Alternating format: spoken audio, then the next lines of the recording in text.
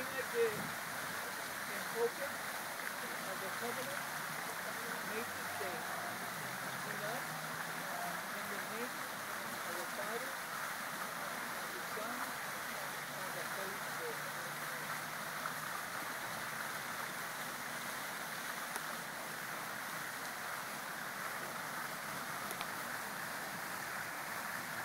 Let's pray.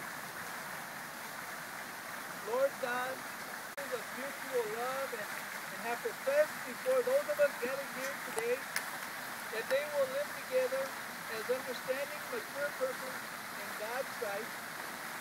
I now pronounce them as husband and wife.